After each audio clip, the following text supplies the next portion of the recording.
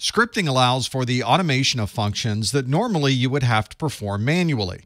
This means when situations occur, you don't necessarily have to be there to resolve the problems. You have a script that does that for you. This also means that you don't have to receive a phone call in the middle of the night disrupting your sleep as you're trying to resolve a problem manually. And you can sometimes identify problems before they occur and automate the process of resolving them before anyone knows an issue was even there. Another great advantage of scripting is that it's fast. It runs as fast as the computing systems that it resides on, and you don't have to worry about somebody typing things in or misspelling anything. Once you've set up a script and tested it, it can run without any type of delay or errors. And if we have a script that's performing processes for us, we can do other things that are much more interesting than typing at a command line. Scripting certainly saves a lot of time. We can run these scripts whenever we might need them. They can perform their functions over and over again, and you won't have to provide any type of human intervention. Automation can also help us enforce security baselines. We might have a script that is providing an update or upgrade with security patches, and that script waits for the patch to arrive in a particular folder, identifies that a new patch exists, and then automatically deploys that patch to all of the systems that need it. I've also configured scripts for infrastructure configurations, especially when setting up multiple systems that all need to have exactly the same security. You might set up a script that automatically builds a default router configurations with all the unique settings that your organization requires. Maybe you have a script that creates firewall rules anytime you deploy a new firewall to a remote site, or maybe there's a script that runs IP configurations, sets security rules, or configures standard configuration options within a single device. By using a script to provide this configuration, we not only know that we're putting in a correct configuration, but it's one that includes all of the security controls required. You're probably familiar with the process of scaling up or scaling down a cloud based application infrastructure. When you're scaling these systems up, you're adding new servers and new databases, but you also need to add new security features. And you can scale up the security along with everything else for that application in the cloud. You just have to make sure that you build your scripts to not only include the servers and databases, but also the firewalls and other security devices along with it. This is also great for members of your information technology staff. Instead of everyone manually typing in and dealing with problems on an ad hoc basis, you can create scripts that perform many of those functions automatically, and they can move away from the boring tasks and concentrate on something that's much more interesting. Automation has the ability to react very quickly when a problem is identified. We can set up constant monitoring of a system, and if anything changes in that system that needs to be addressed, we can automatically apply those changes.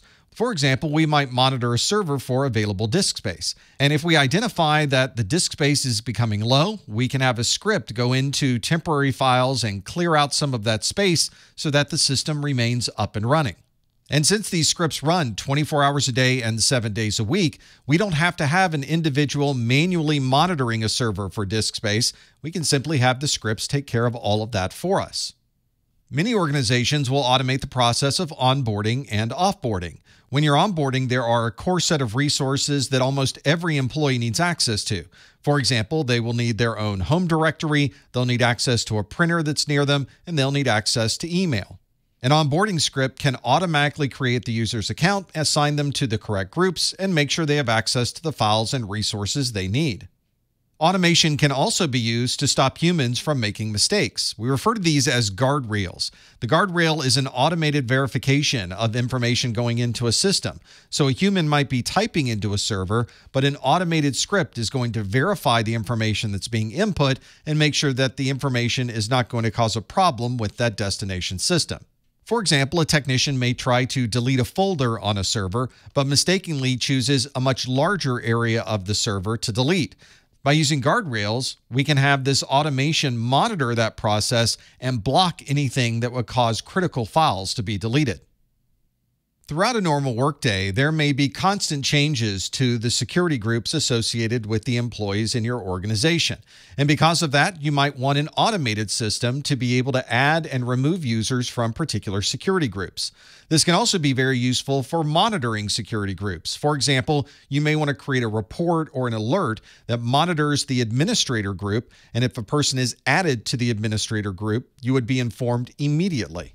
If you work in an organization with a help desk, you may be already using automation. Many help desks support the ability to email the help desk. The automation can take an email submission, turn that email into a help desk ticket, and based on the information that's in the email, can even assign that ticket to the appropriate person. And if we're monitoring the right resources with our scripts, we can identify problems before they become an issue. Normally, this issue would occur and we'd have to escalate the problem to a higher level technician. But if we're constantly monitoring these resources, we may be able to have the script resolve the problem for us without any human intervention.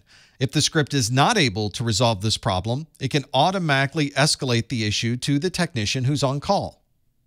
Automation can also be used to enable or disable services. For example, if a service needs to be used for a certain amount of time, you can have the script enable the service, and then after that time frame is complete, it can then disable the service without any human intervention.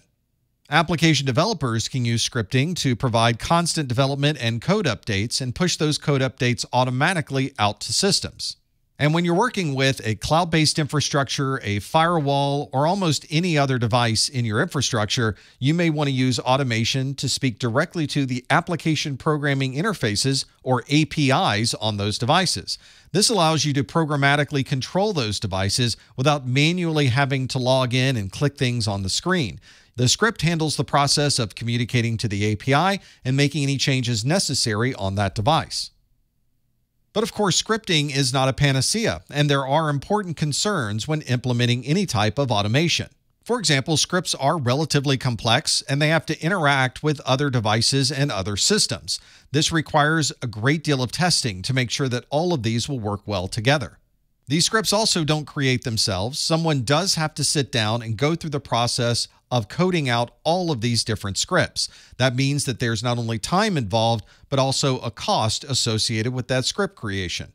And like any other device that may be in your network, that script could be a single point of failure. If that script stops working, there could be a significant problem with the devices that rely on that automation.